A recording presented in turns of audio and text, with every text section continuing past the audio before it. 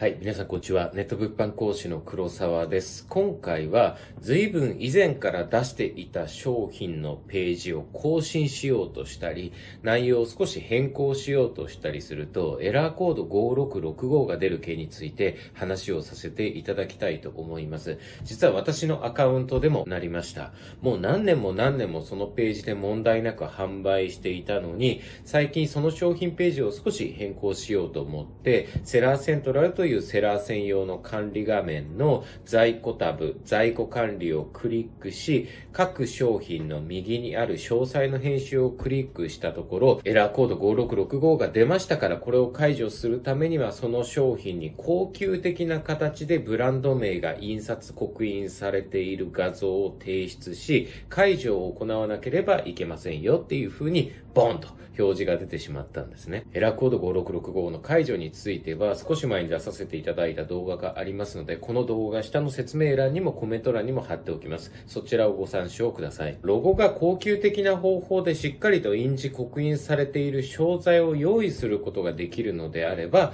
エラー解除を行って一見落着っていう形になるんですが、そうじゃない場合はどうすればいいかっていう話をさせていただきます。アメリカアマゾンで出されている方であれば、アメリカ国内の倉庫、通称インポーターなんて言うんですが、ご自身のお荷物を一時的に保管してくださったりだとか、ラベルの貼り替え、再梱包、そして再納品を行ってくれるような会社に商品を送ります。商品を送っている間に該当商品をノーブランド、正確に言うと製品コード免除申請を行ってノーブランドとしてもう一度出品登録を行います。インポーター倉庫に荷物が届いたらノーブランドで出品登録したその商品で納品手続きを行い商品ラベルを発行し、その商品ラベルの情報と、どの商品にどのラベルを貼ったらいいのか、これ通称 FNSKU 対象表なんて私は呼んでるんですが、この対象表を送って商品のラベルを貼り付けてもらい、再梱包して Amazon に納品してもらい、再出品するっていう流れになります。何年もその商材を売っていた場合、すでにレビューが何十何百ってついている場合も少なからずあります。その場合は、その商品ページじゃなくて別のの商品ページを作って出すとなると、今までの蓄積されたレビューが全部なしになってしまうので、ブランド名がしっかりと付与された商材っていうのを作ってでもエラーコード5665の解除を行って出品するっていうやり方で進めた方がもちろんいいと思います。数年前までは自分で自由に好き勝手ブランド名を考えて、そのブランド名を入力して商品の出品登録ができたんですが、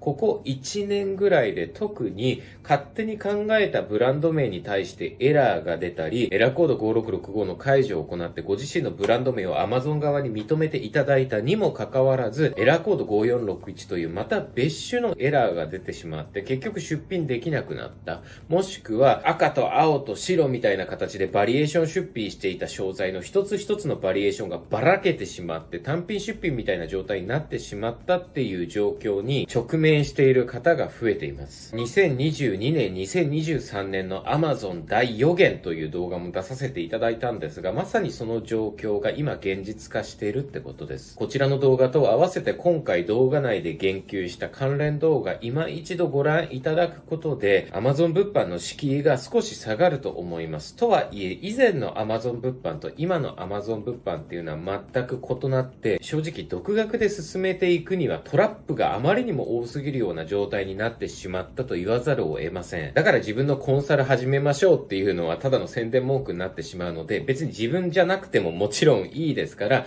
ご自身がやろうと思っている物販のスタイルについてのコンサルだとか、スクールだとか、塾について慎重に調べてみて、時間をかけてどこかに通ってみるっていう選択肢も検討してみてください。とはいえ、サポートがずさんな塾だとか、いろいろな問題を抱えている塾っていうのはあまたありますので、そういった塾やスクールの見分け方についても近日中にまた改めて動画で出させていただきます。よろしければチャンネル登録していただき、そちらの動画も合わせて楽しみにしていただければ更新です。最後までご清聴くださりありがとうございます。